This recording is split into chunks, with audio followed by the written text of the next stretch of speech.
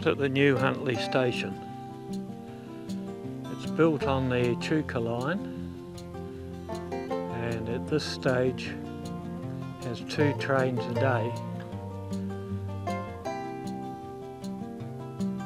However, the services from Bendigo will be passing through several times a day to Goornong and then returning to Melbourne. All this land we can see out here has been subdivided and will be covered in houses, so not too far away. I'm here with the Craven brothers and they tell me that this is built on what was known as a triangle paddock. The old fence line would have been in line there.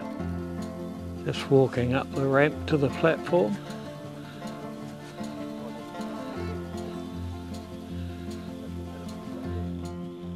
We're coming onto the platform now and through the entry here are the Myki tag on, tag off.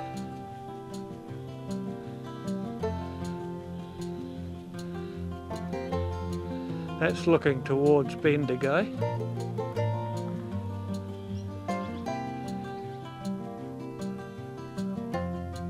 That's looking towards Echuca and the next station will be Goornong.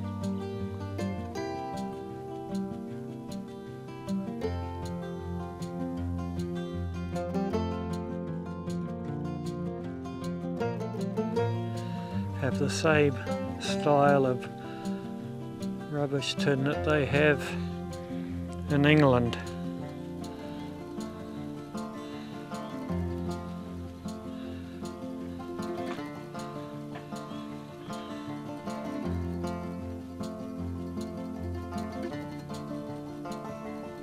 This is the Bendigo End shelter.